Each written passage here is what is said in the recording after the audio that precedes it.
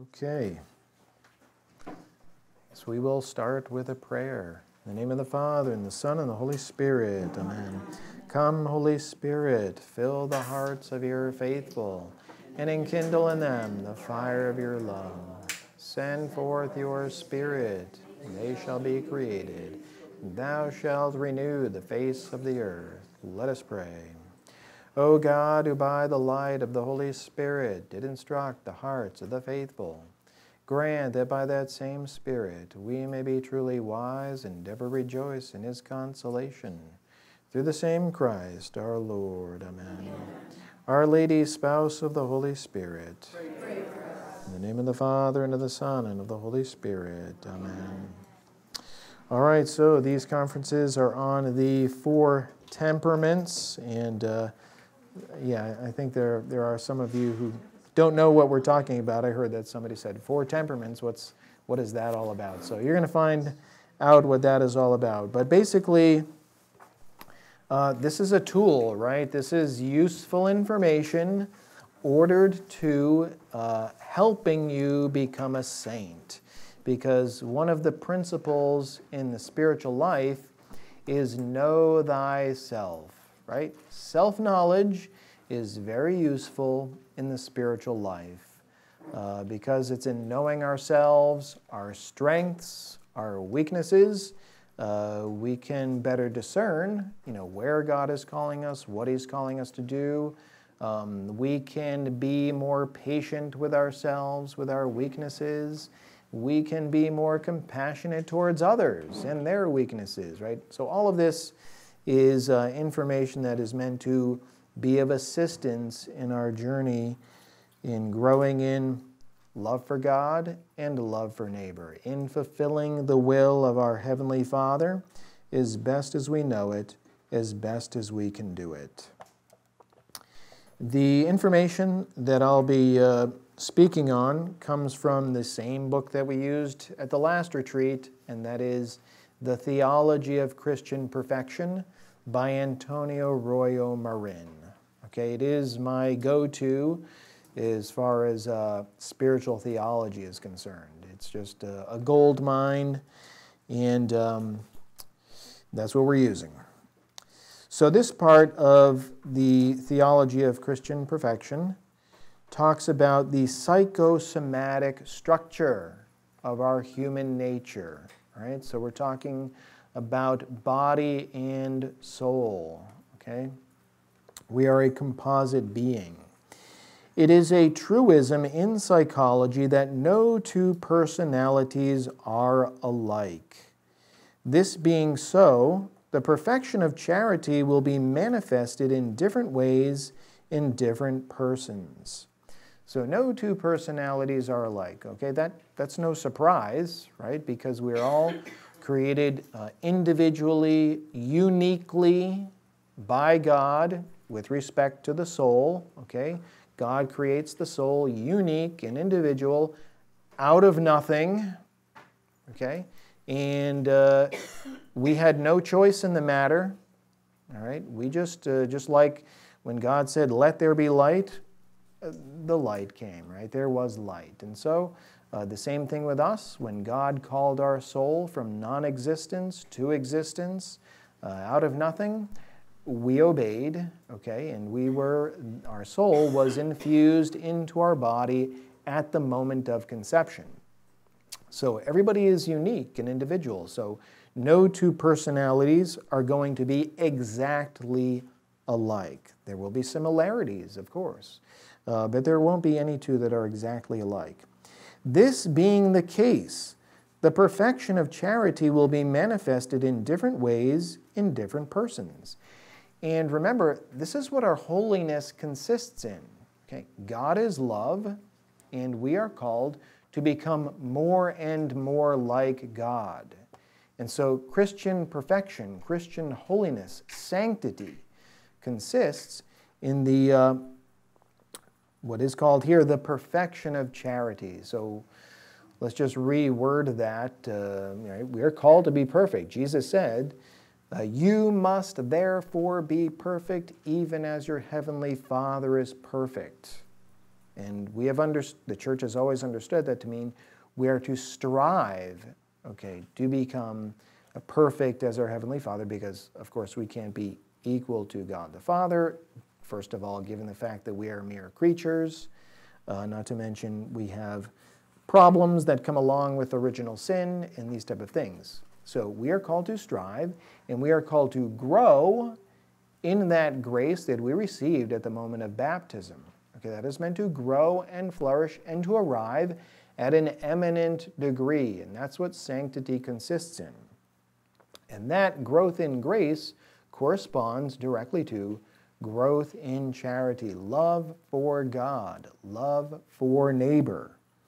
Now, how this uh, eminent growth in love for God and love for neighbor manifests itself exteriorly is going to look different according to the differences uh, of the individual persons, okay? It's going to look different exter exteriorly, okay?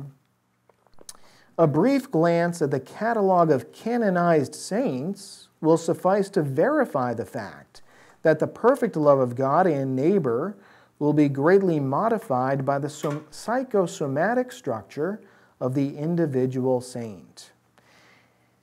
But I would add to this not only differences among the saints, but even the saints who shared the same spirituality. And if you look at the different Franciscan saints, they're not all like St. Francis. St. Maximilian Kolbe is very different from St. Francis of Assisi. Right? Their lives, you know, how their lives unfolded, the gifts they were given, the inspirations that they received, and the graces from God, different, and yet they share the same Franciscan spirituality. Uh, so, right, there is no surprise when we look at the saints, how grace operated differently in them. Thus, while all possessed heroic charity, okay, all of the saints, canonized saints, possessed the virtue of charity, the supernatural virtue of charity, to a heroic degree, there is a remarkable difference in the way in which this charity was carried into external practice in the lives of such saints as Augustine, Dominic, Francis Xavier, Peter Alcantara, Benedict Labre, Louis, King of France, and John of the Cross. Okay. They all look different. And so, when we're reading the lives of the saints, if we see certain aspects of their lives that perhaps don't appeal to us or that we can't relate to, or that we have no inspiration to imitate. We shouldn't think that that's necessarily problematic, okay? Because we need to be the saints that God is calling us to be, okay? that He has made us to be, not somebody else. So uh, we can certainly uh, learn from the examples of the saints and find inspiration and even imitation in certain aspects, but most likely not in every aspect, okay? So that's where uh, discernment of what God is calling me to do uh, based on the gifts and graces that I have received. The supernatural does not destroy the natural. So when we're talking about psychosomatic structure, uh, we're talking about nature, natural gifts, and even natural weaknesses. And the supernatural, God's grace, does not destroy this in us, but works through it and builds on it. In such a way that the human body soul composite can be a help or a hindrance to the workings of grace. And so, this is where know thyself is so important because we want to know what aspects uh, of our body soul composite are uh, configured in such a way that they tend to be a hindrance to the operations of grace so that we can strengthen that, okay? Uh, maybe remedy that, cure that, these type of things. Hence, it is of great importance to understand the manner in which man's psychosomatic structure concurs in the work of sanctification although it does so on a purely natural plane. we shall discuss the human personality under the twofold classification of temperament and character. Now, I'm going to focus on the four temperaments. Uh, and again, this is the first time I've given these conferences um, laid out in this way, right, in three different conferences, and I'm not sure exactly how it's going to unfold and break down, but I definitely want to get through the four temperaments. If we can manage and we have time, then I'll start talking about character too. Okay. Temperament is kind of what we've received. It's our inheritance, it's physiological, it's our DNA. Character is what we've made ourselves and you know the influence of the environment in which we've grown up in and the education we've received, this, these type of things. It's not uh, bound up in our physiology, but it's in, bound up in our uh, nurturing, our training, and above all, our free will decisions. Right? Our cooperation with grace, our lack of cooperation with grace.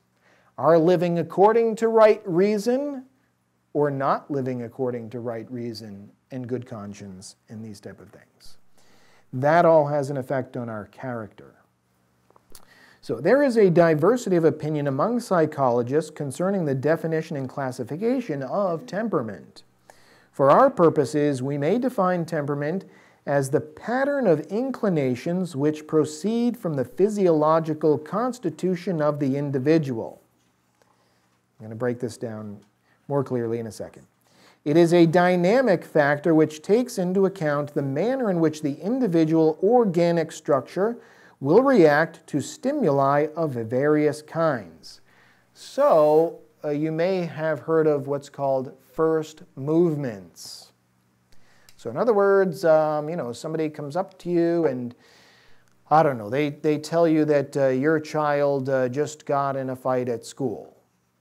You've got a first movement going on, okay, based on that stimuli or stimulus, okay, this new information that you have you now have a physical reaction. Okay? It could be slow. It could be fast. It could be intense. It could be weak. It could be anger, frustration, impatience. It may not be. You know? But all of that occurred without your will actually being engaged. So we're talking about a first movement based on your physiology, okay, and how you react to various stimuli, okay? Since it is rooted in the physiological structure, temperament is something innate and hereditary. It is that element of personality which makes the personality unique, since individuality is rooted in matter. And temperament is the natural inclination of the somatic structure. So, we would expect to find uh, two identical twins, okay, we're talking about two people who have the same DNA, to have the same temperament, okay? To have the same temperament. If, this, if that's not the case, then that will be a result of uh, the modifications, the slight modifications that have come around to their temperament based on their upbringing, free will choices, graces, these type of things. But uh, temperament can only be slightly modified. We would still expect um, two identical twins, again, same DNA, to have the same temperament, the same predominant temperament. It is therefore something permanent, since your DNA during the course of your life doesn't change, and admits of only secondary modification. Okay, slight modification. One's temperament can never be totally destroyed without destroying the individual. The axiom, grace does not destroy nature but perfects it, has its most obvious application in this area of temperament. The classification of the temperaments is nothing more than a handy framework. Okay, we're talking about four temperaments in these conferences. This is a framework which has been constructed according to the predominant characteristics of various physiological constitutions. So, predominant characteristics. It is by no means exclusive or definitive, nor does it signify that there are pure temperaments. So, we're talking about choleric, phlegmatic, uh, sanguine, and uh, melancholic. Okay, nobody is really going to be purely that one temperament. There's going to be a mixture, but there is going to be one that noticeably predominates, that stands out above the rest. As a matter of fact, an individual person generally manifests a combination of characteristics of several temperaments. Whenever there are several elements combined in any composite, however, one or another will usually predominate at any given time. And in the matter of temperament, we find that although persons are usually a composite of many characteristics, one or another characteristic will specify the temperament. Bearing this in mind, we shall discuss the four temperaments according to the ancient classification of sanguine, melancholic, choleric, and phlegmatic. Okay, now we get into the first temperament, sanguine.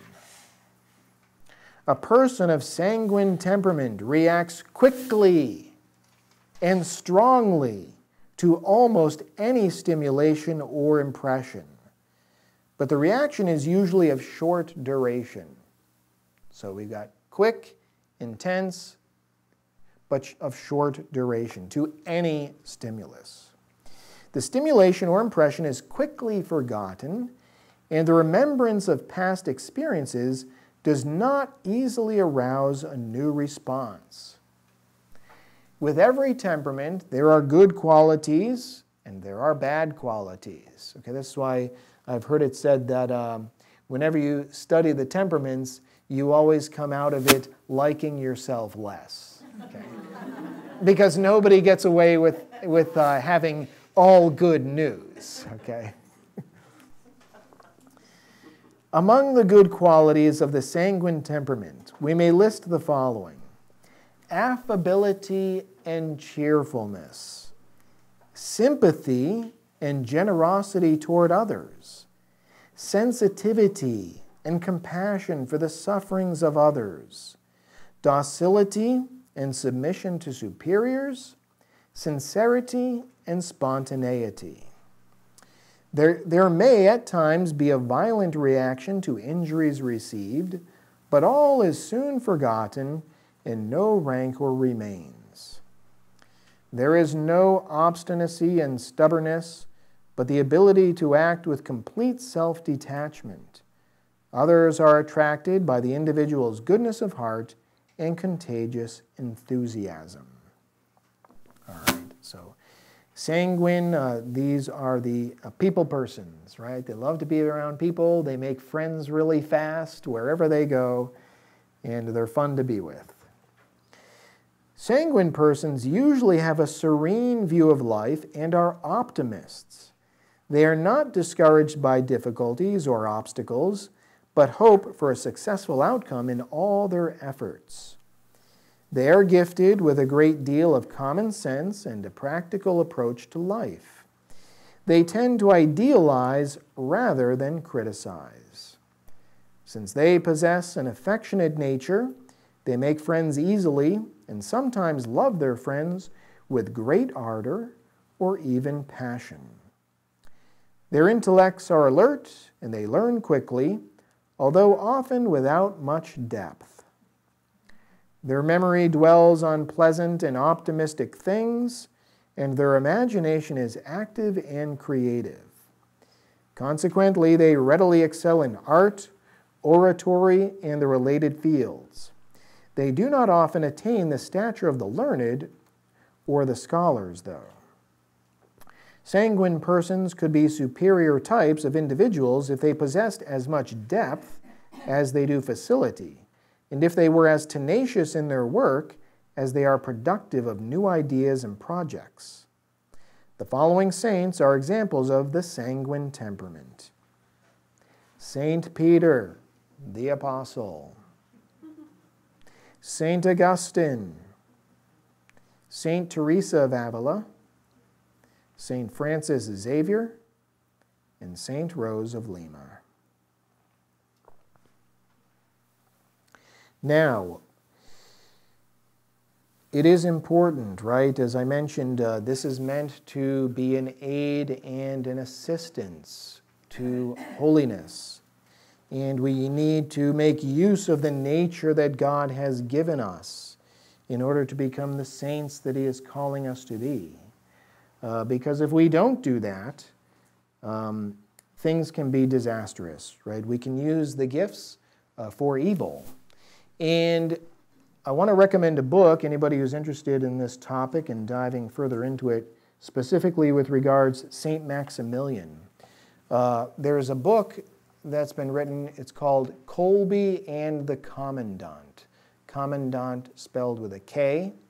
And what it does is it tracks the life of uh, St. Maximilian Kolbe and Rudolf, I think that's his first name, Hess, okay, who was in charge of the Auschwitz concentration camp. And let me just read to you the um, part of the introduction of this book because it compares these two, how similar they were. What a similar upbringing. But what a different result, right? We had one become a saint and a martyr at Auschwitz. We had another who, become, who became the leader and uh, murderer, right? Chief murderer of Auschwitz. Hess was an ardent, committed militant who planned and worked for the complete extermination of the whole Jewish people and of all enemies of Hitler's dream. In the end, the lives of both St. Maximilian and Hess came together, and each, in a terrifying, redeeming way, became a victim of the other. It is a haunting, incredible story. These two lives began only six years and a few hundred miles apart. Both children belonged to staunch Catholic families. Both were altar boys. Both wanted to be Catholic priests and missionaries. Both were highly intelligent and deeply sensitive. Both were taught to be responsible and obedient, courageous and resolute. Both developed resourcefulness and perseverance in confronting difficulties. They both were logistical geniuses, right? St. Maximilian running Niepokalanów with over 700 friars, 24 hour operations. Hess running Auschwitz, also 24 hour murderous operations.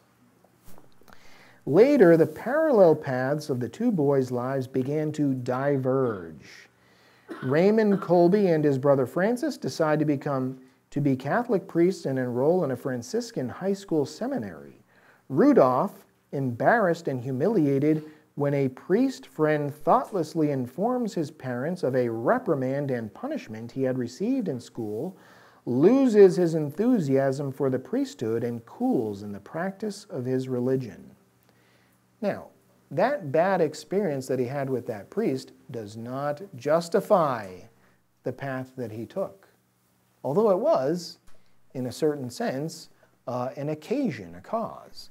But, you know, those type of occurrences are not determinative. In fact, I know one of our friars, uh, I think it was when he was learning to be an altar boy, maybe his first experience of being an altar boy. Okay, he was serving for a rather gruff priest. And uh, he handed him the water first instead of the wine. Okay? Now, apparently that was a big mistake for this priest because he said, The wine first, you stupid, dumb little punk. Okay, well, it, it didn't destroy uh, the vocation of this friar, right? I mean, he became a Franciscan friar.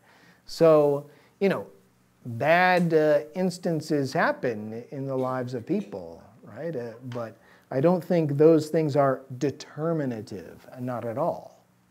But here we see, uh, right, uh, Rudolph being uh, a young man, um, obviously the Christian approach would have been, you know, humility forgiveness, these type of things. But apparently, he then started making one bad decision after another, you know, uh, losing graces and being more and more influenced by evil, right, culminating in the point of being in charge of Auschwitz. Now, thankfully, if you're not familiar with the story of Rudolf Hess, miraculously, he does convert before his death.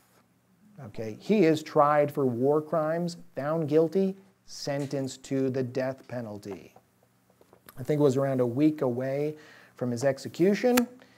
Catholic priest comes, he acknowledges all of the evil he has done, makes confession, receives Holy Communion, okay, before being executed. So I think we're talking about a miracle of mercy in his case. All right, we move on. Don't want to get off track. What time do we have here? 10.03, okay. All right, but each temperament will also be characterized by certain qualities which are dangerous and could become predispositions to evil. Thus, the principal defects of the sanguine temperament are superficiality. All right, they don't go deep. Inconstancy. They are wavering souls. So they're very much moved by their own sensibility.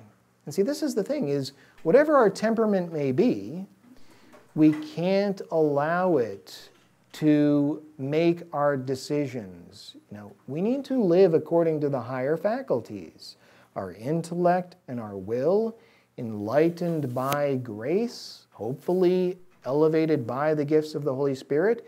That's how we want to make our decisions in life. That's how we want to be moved throughout our lives. We don't want our passions, okay, our sensibilities, our emotions, our temperament to determine the decisions we make. So, this is the danger in the case of the sanguine person because they're very sensitive. Okay, and if they're offended, watch out. They may just leave that apostolate and throw in the towel and not be willing to work anymore inconstancy, and sensuality, right? So sins of sensuality, they can be very tempted to those. The first defect is due primarily to the ease and rapidity with which these persons conceive ideas and the creative activity of their imagination. While they appear to grasp in an instant even the most difficult problem or subject, they sometimes see it only superficially and incompletely. As a result, they run the risk of hasty judgments. So we're talking about imprudence, of acting with insufficient reason, into formulating inaccurate or false conclusions. They are more interested in breadth of knowledge rather than depth.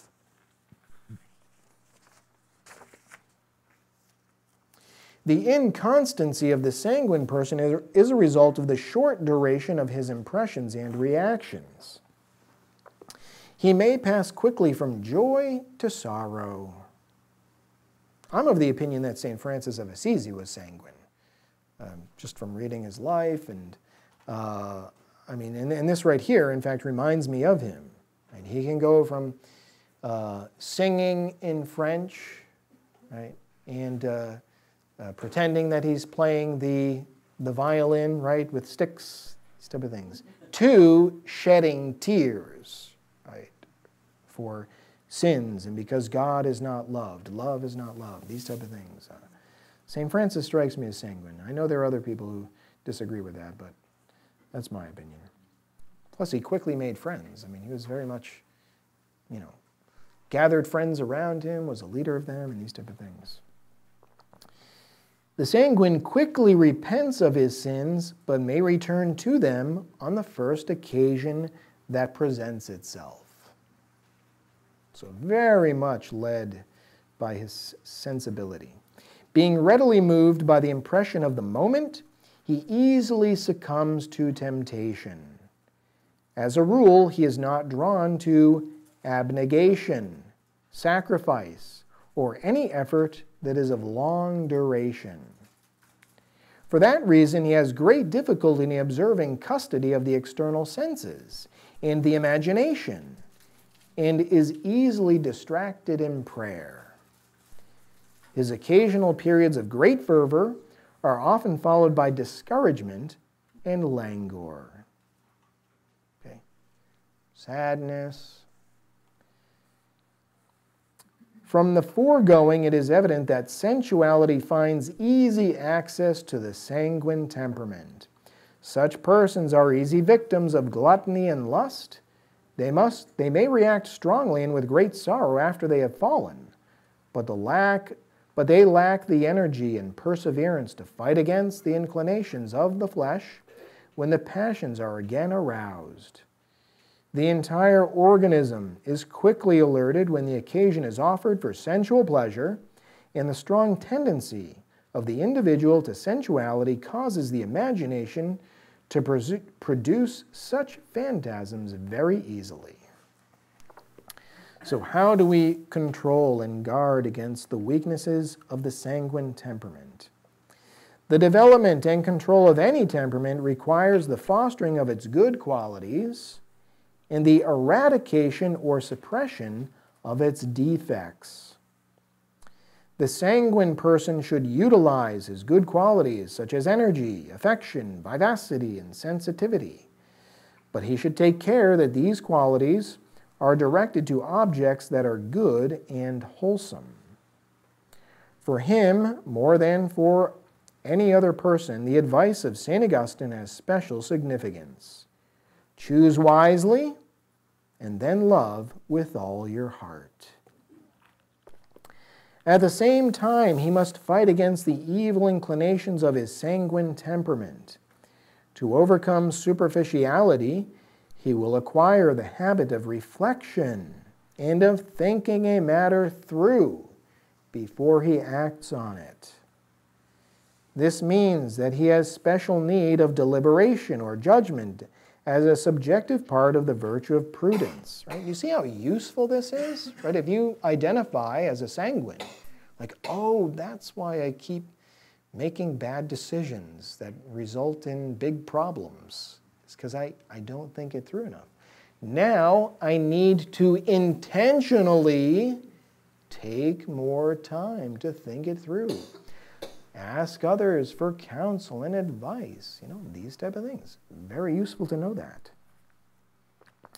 Against his inconstancy, he will strengthen his will to carry through resolutions that have been made and be faithful in the practice of prayer and the performance of good works. Even in periods of aridity or in times of hardship or difficulty. So the sanguine needs to be also very attentive to that, right? That I need to persevere. I need to work through in difficulty, aridity, boredom. The secondary helps, which are of the greatest importance in this regard, is a plan of life followed conscientiously. And the daily examination of conscience with self imposed penances for failures. So, the sanguine temperament, being a free spirit, he's going to have the tendency to want to just wing it. Okay? Instead, it's probably a good idea so that you're using your time according to the will of God and not wasting time or spending a lot of time and effort in something that will be uh, bear little fruit, okay, is to have a plan, okay, and pretty much stick to the plan. Think things through uh, with discernment, like what is God really calling me to do, not necessarily what I feel like doing. Sanguine persons sometimes need an expert spiritual director whom they should obey without question. So spiritual direction is quite useful, right? I mean, I would say, uh, well, the theology of spiritual um, perfection even says anybody really striving for holiness, sanctity, needs a spiritual director. if they have the possibility. For I can understand sometimes it's not possible, but if there's the possibility, really it's a necessity. Lastly, sensuality must be combated by constant vigilance and an unrelenting struggle. Above all, the sanguine person must flee immediately from the occasions of sin and take special care to observe a strict custody of the eyes. The custody of the external senses and the imagination should be further safeguarded by the practice of recollection and practices of mortification. So, recollection meaning periods of silence, mortification, not always eating and drinking exactly what you want in the quantity that you want, uh, not being as comfortable as you want. It would be futile to try to avoid sensuality if the sanguine person were to leave the windows of the senses open to every kind of distraction and temptation. Okay, I think this is probably a good place to break. Um, so, just an announcement here. I, I do have printed out a temperament indicator. Okay, so this is a test that you can take all right, it is a um, series of, I won't say questions, I mean, some of them are questions, but basically you are checking the box where you see, you identify with these certain characteristics like charismatic, envious, jealous, happy, optimistic, prone to illness, easily discouraged, bullheaded, rash, etc. Like all of these different characteristics. And you just check the box where you say, yeah, that's me, that's me. And uh, then at the end, you um, go and look at the numbers, okay, and there's a chart where you circle the numbers that you have checked off, and that's going to be an indication of uh, what is the predominant temperament, okay, temperament that you have. So now I printed out enough for each of you to take two copies because it's useful if you fill out one and somebody who knows you well fills out the other. Okay? Okay, so that, that should be, you know, between yours and that person who knows you well, that should give you a very idea of the reality uh, of your temperament. Okay? Um, so nobody gets away with anything here. All right. Uh, and uh, we have confessions now uh, from 10:15 until the next conference, which starts at 11. Um, so I think we only have two, maybe three confessors here. Okay, so uh, probably not enough time for everyone to go to confession. And I know um, one of the, the feedback that we received from the last retreat was that uh, there wasn't enough time for confessions, but the reality is, we, this is a one day retreat. And if we're going to have more time for confessions, I would basically have to eliminate a conference. So, balancing these two things, um, we just kept the confession time at what it is, the 45 minutes. Um, so that's it. We'll finish with a prayer. So you have time now. Uh, you can take your two copies of the test and you can um, start filling that out, re- do some personal reflection, uh, and these, or go to confession. Okay, and we'll be meet back here at 11. Glory be to the Father, and to the Son, and to the Holy Spirit.